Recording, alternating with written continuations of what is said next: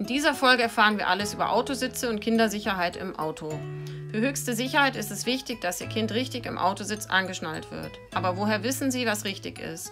Denken Sie daran, dicke Oberbekleidung im Auto zu vermeiden, egal ob es ein Kind oder einen Erwachsenen betrifft. Sehen Sie hier, wie viel Luft zwischen der dicken Oberbekleidung und dem Körper des Kindes ist. Dadurch ist der Gurt nicht eng genug und im schlimmsten Fall kann das Kind sogar aus dem Autositz rutschen.